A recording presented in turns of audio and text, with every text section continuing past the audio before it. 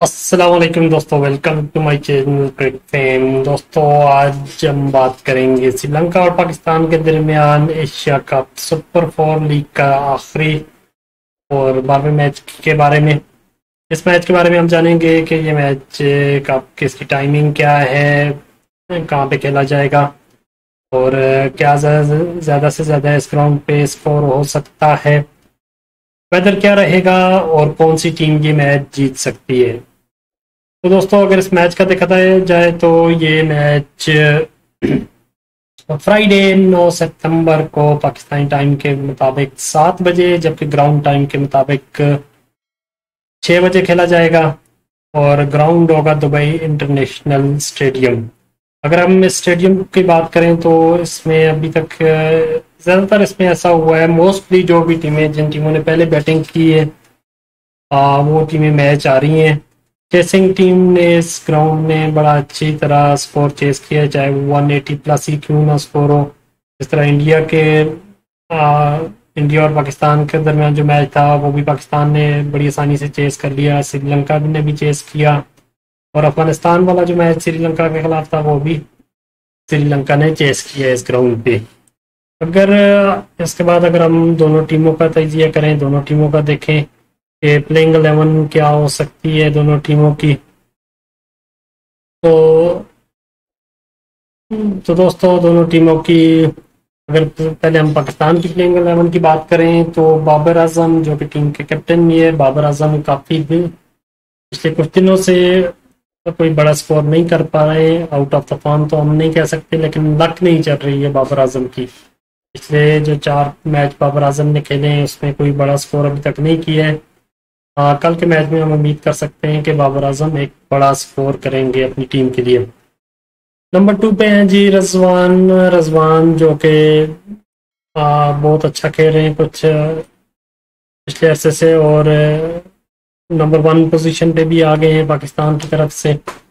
आज जो पहले नंबर टू पे थे बाबर आज़म को बीट किया इन्होंने। अब रजवान का जो रेटिंग है वो 815 हो गई थी जबकि बाबर आज़म की रेटिंग सात सौ चौरानवे की है।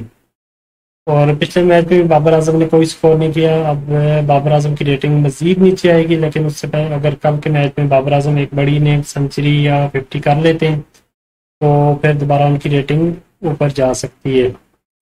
तीसरे नंबर पे फखर जमान, अब देखना ये है कि क्या फखर जमान को कल का मैच भी खिलाएँगे कि नहीं, क्योंकि फखर जमान भी आउट ऑफ़ फॉर्म जा रहे हैं, बिल्कुल।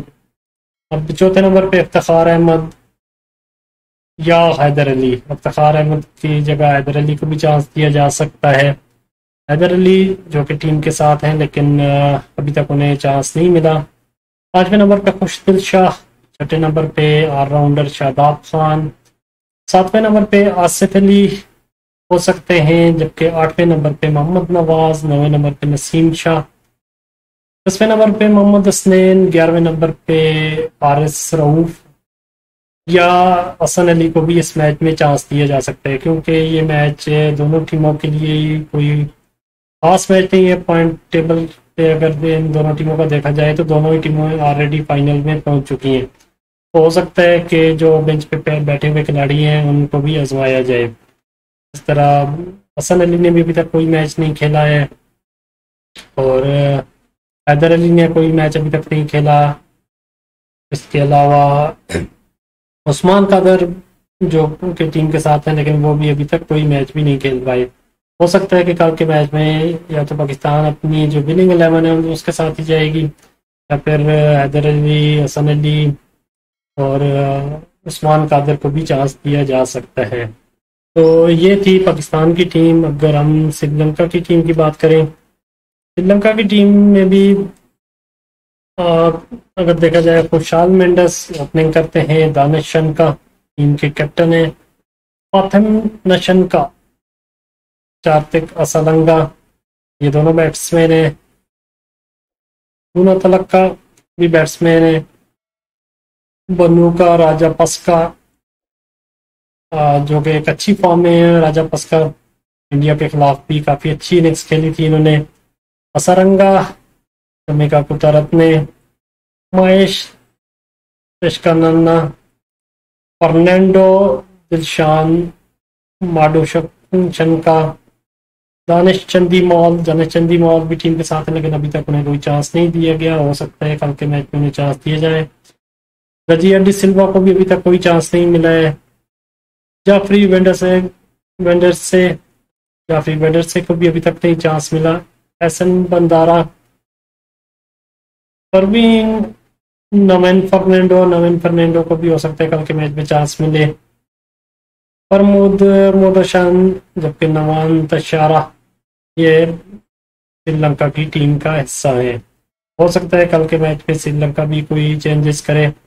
अब देखना यह है कि श्रीलंका की टीम क्या चेंजेस करती है।